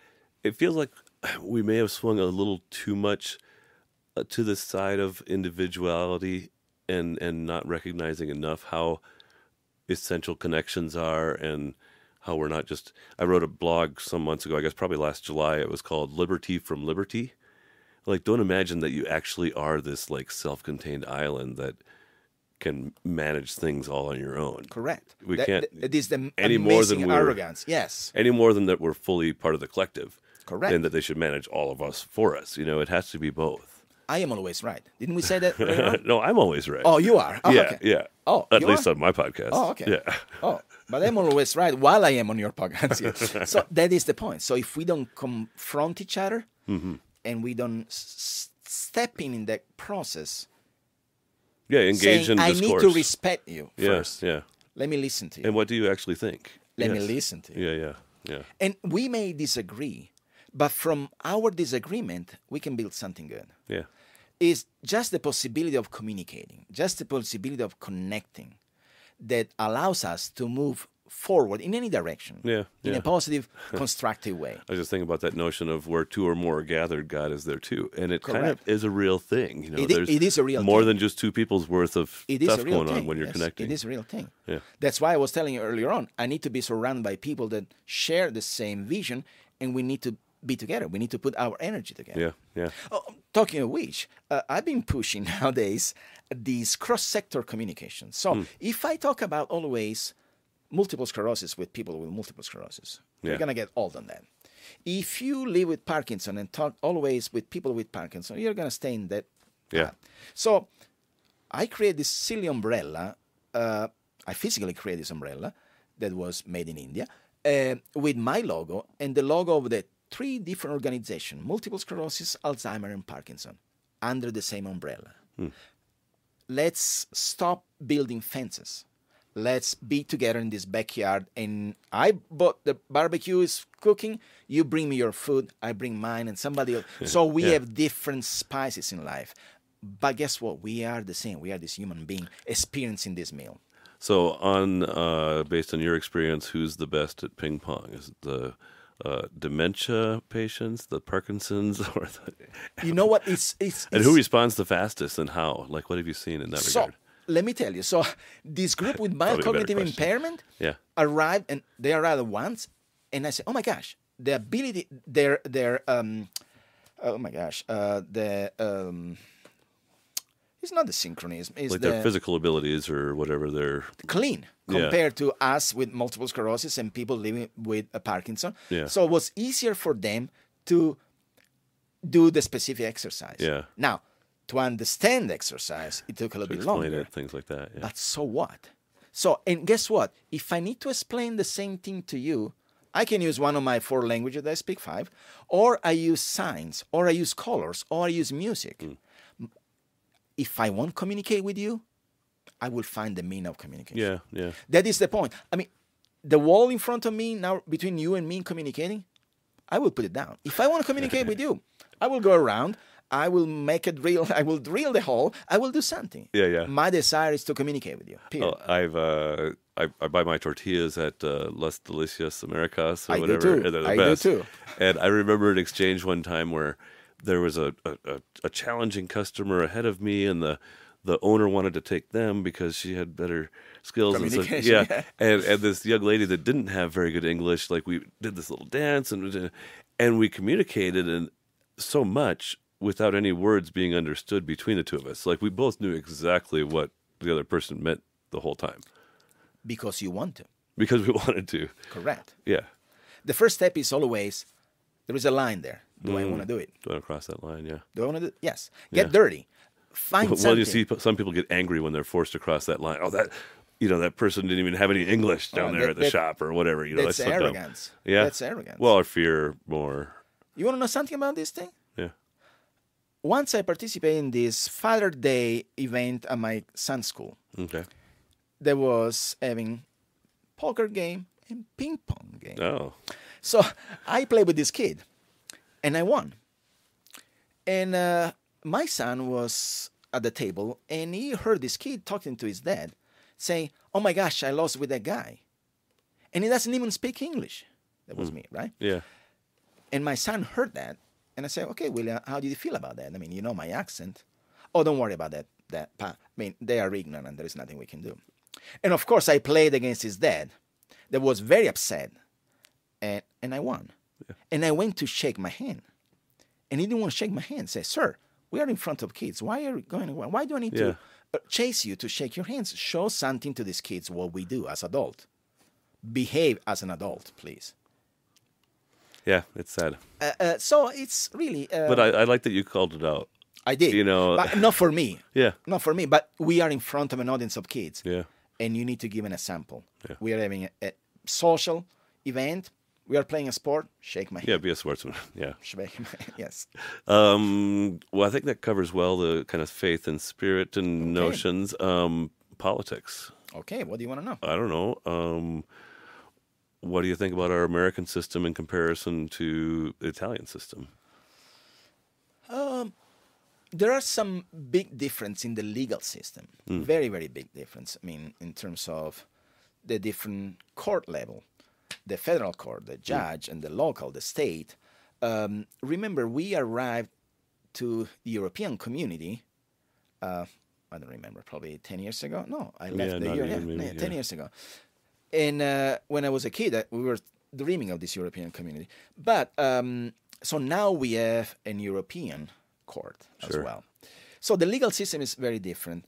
What I like about the uh, American society is that the daily life is easy, much easier than in even in my country, in Italy. Yeah. But there are procedure. Like greater comforts and things like that? Uh, or what do you mean? The, the easy? Life in any public office, believe it or not. So that's what those are your rights. I go there. I need this, this, and this, Hmm. and the service will be offered to you. Yeah. But if something is a little bit different, there is a comma that is different, you don't get anything. Yeah. Now in Italy, those are your service. Ah, okay, but today is Tuesday, really, and uh, there is always something going on. Yeah. But people, people may add the comma that was missing there. Me- means people Hmm. go beyond because Interesting. yeah, the, the, the rule doesn't allow me to do that. But let me see what I can do for you. yeah, yeah. so again, is the person, the single individual. It's ultimately relationship. That's all it is. The human being behind the rule, the human being behind that position that is indeed making the well, difference. that makes us so corruptible, right? It- In a way. I mean, it's That goes back to the sincerity and to who you are. I mean, Yeah, of course, yeah. I can use and abuse that, or I can be completely ignorant and leave you alone. Yeah. So it's us as human beings that make the difference. You know, sometimes it's a, I'm sorry, this is the what's the word that that's been used. Uh, uh, people hide themselves behind the corporation. mm, Sorry, those are the corporation rules. uh, sorry, yeah. Okay. But what about you? you? Because the corporate office is yours. You are in charge. Right. So what do you want to do? Do you see the problem? Do you want to change it? And so politics should be at service. As a politician, hmm. as a person in charge, as your leader, as your chairman, as a person in power, I am at your service. Yeah. Well, is, that's that notion of are you a civil servant or are you the person with power? Because they're they're both and sometimes, right? Life life gives you power. Life right now is giving you power to decide if we continue this podcast or Sure, not. yeah. Right? And I have the power to say I do. So we have our own power. Right. But guess what? We decide that doesn't matter because we are communicating. Hmm. So if you have this tool, you have the power of the tool, right? You're offering that to me. You're giving me a service. Yeah. Fair. You offered me this and to, to offer me the possibility of express my idea. So you have a power, but you are administering that power in a, in a positive way, in a good way. Yeah. And again, for me, the most powerful person needs to be the one most at service. Do you, uh, yeah, no, I 100%. I think that's probably the biggest shame in America right now is that like it used to be people that would mostly go into politics would have like they've been successful in business and life and now they're 55 and they want to give back to their Let me give it back. Correct. Let me give it back. But now the, somebody's going to be digging through their phone records and all this and that, you know, and whatever, and just it doesn't make it a very appealing thing because it's such a, I think, a microscope, and, and then once they get into the the arena, then there's, you know, always somebody throwing eggs or tomatoes at you. okay. So do you want to fight? I apologize for the word. From within or from outside? Yeah, I don't know. That's a big question. I don't know either. That's one of my favorite definitions of politics. Is it's what we decided to develop so we didn't actually hack each other apart with swords. you know, know so that we can ha- have debate and argumentation and, and have a, a system that Yeah, uh, you know, there's one word in the American dictionary that I cannot stand: arguing. I'm discussing with you. I'm not. Yeah. arguing. Even though you and I may have a different opinion, yeah I don't want to argue with you. yeah yeah Now, I may be passionate. I've been accused. or debate of, is yes, is a more appropriate debate word. is more appropriate. So, in my medical committee, people were always, Antonio, you are the usual passionate person. yeah yeah Say, guys, am I the one saying what everybody's thinking? And they were saying, yes. Okay. So you guys are passionate as well. I'm the one voicing that. So I've been always in that position and I pay for that, but I'm okay. Yeah, At yeah. the end of the day, when I go to sleep and I put my hand on the on the pillow, say, okay, what did I do today? yeah uh, do I regret something? And as I was telling you earlier on, if I realize that I need to regret something, I need to find a solution. Tomorrow cannot be the same thing. So uh, politics and, and, and power needs to be given back. If I have a power to change something, life is, somebody said, leave the world just a little bit better than what you found it. yeah yeah or, or uh, you know planting trees under whose shade you'll never rest. You can use so many uh, uh, Those kinds of things. those kind of things yes. And uh, you know i gave um, a tapestry to my daughter. I, I bought this tapestry in sicily. That's three different color of green. Uh, coming from cucumber from another plant and from a spice and represents an olive tree. And was made by a community that was fighting against the mafia in sicily Mm. and I gave it to my daughter, and my daughter, even though I didn't agree about tattoos, she decided to have this olive tree on her skin. Well, And so the embrace, embracing this concept is olive tree symbol of peace. Let's, I'm going to use the word saying fight. Let's make sure that we work for peace, not fight. That we work for peace. for. Um, have you ever been to Rotary Club, by the way? I've been to one Rotary Club. Actually, uh, last week there was a, a paper. Uh, uh, uh, I was on the first page of the paper. I don't know if you saw me. I did not. Oh my gosh, I need to give it that. There was I need to say thank you so much to this photo reporter.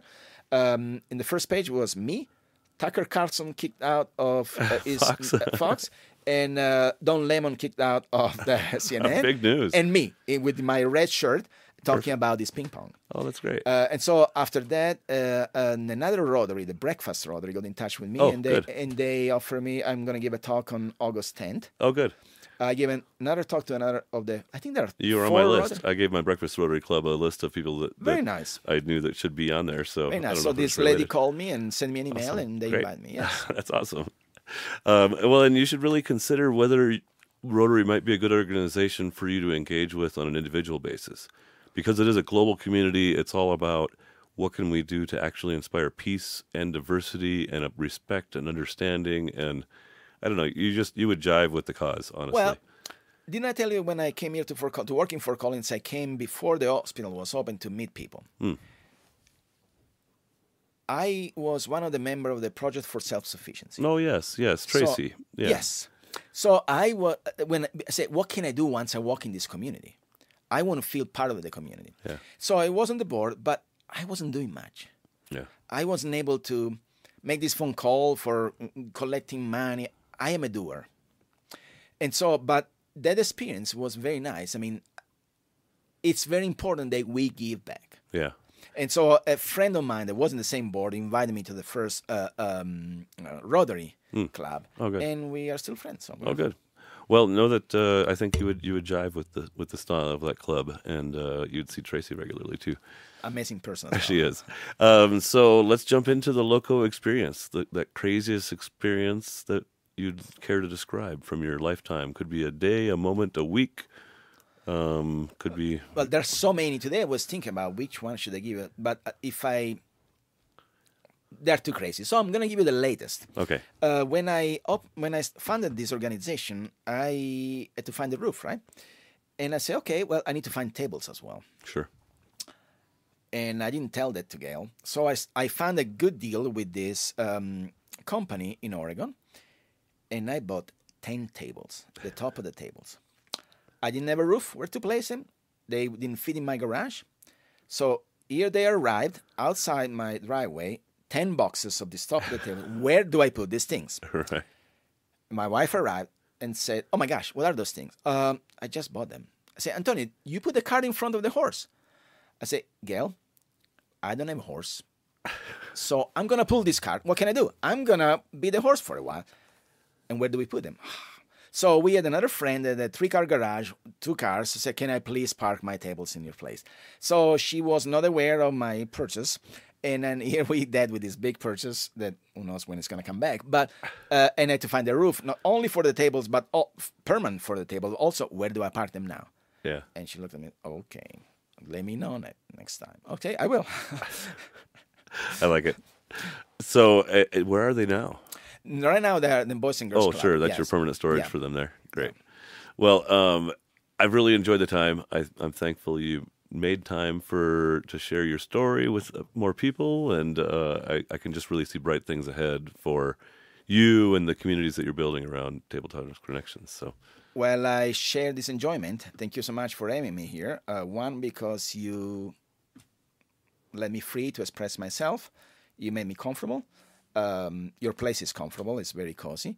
And also, you allow me to share my experience, not only what I'm doing now, but also more personal Yeah. with whoever is going to be listening to your podcast. well, I know it'll be impactful, and uh, Um, if we get you out of here soon, we have time for a real quick game, right? Actually, I give Probably you. not. I, uh, no, no, I'm going to give you the time to play. One quick lesson. Absolutely, yes. well, thank you so much, Kurt. It's been a great. I appreciate it. Thank, you. Godspeed. Thank you for listening to this episode of the Loco Experience podcast, produced and sponsored by Loco Think Tank. This is your producer, Alma Ariano. Check out our website at thelocoexperience.com to find all of our episodes, nominate future guests, or leave us a message. You can also find us on Instagram, Facebook, and LinkedIn at The Loco Experience. To support the show, please subscribe and share it with your favorite people. Until next time, stay loco.